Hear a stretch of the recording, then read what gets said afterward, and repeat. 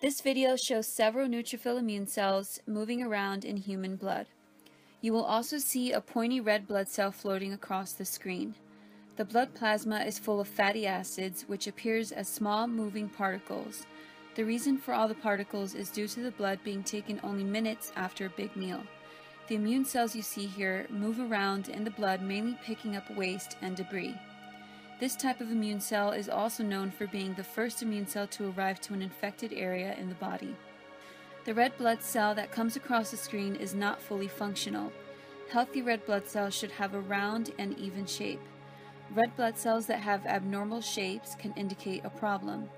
Their shape can be caused by several factors, ranging from acidity in the blood to diseases, all depending on how many there are, what shape they have, and if the test is taken correctly.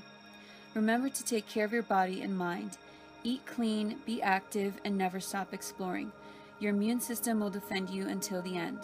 Contact us to learn more about health, alternative medicine, and to learn how you can heal your body naturally.